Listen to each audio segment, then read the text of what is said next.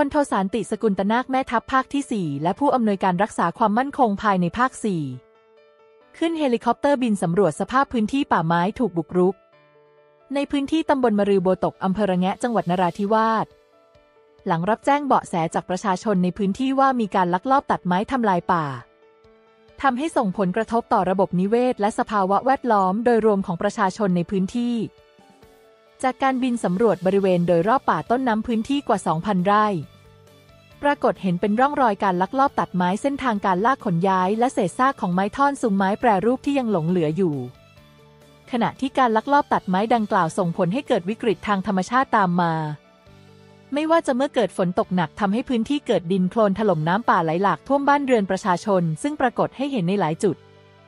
และจากเหตุการณ์อุทกภัยครั้งใหญ่เมื่อปลายปี 2566 และต้นปี 2567 พื้นที่บ้านบะเองไปจนถึงบ้านกำปงบาเละตำบลมรือโบตกอำเภอระแงะจังหวัดนราธิวาสก็ได้รับผลกระทบเป็นอย่างมาก เนื่องจากปริมาณฝนที่ตกลงมาทำให้เกิดดินโคลนสไลด์ถล่มเส้นทาง ท่อนซุงบางส่วนทะลักกิดขวางประตูน้ำของฝายกั้นน้ำประปาหมู่บ้าน และน้ำป่าไหลหลากเข้าท่วมบ้านเรือนประชาชนในพื้นที่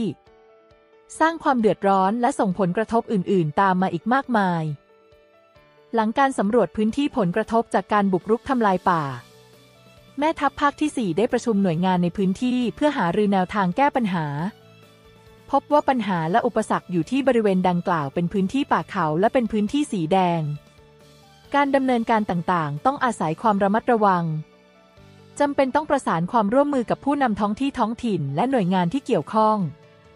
โดยเฉพาะผู้นำท้องที่ท้องถิ่น และประชาชนต้องคอยเป็นหูเป็นตาให้เจ้าหน้าที่รัฐ แม่ทัพภาคที่ 4 ย้ำว่าแต่ถึงอย่างไรก็ตามความเดือดร้อนของประชาชนเป็นสิ่งสำคัญจะต้องเร่งดำเนินการโดยเร็วที่สุด